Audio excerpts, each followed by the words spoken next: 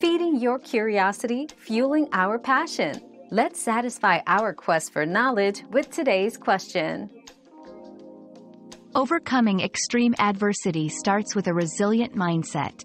Breaking challenges into manageable steps can make them seem less overwhelming. Seeking support from friends, family, or mentors provides encouragement and guidance.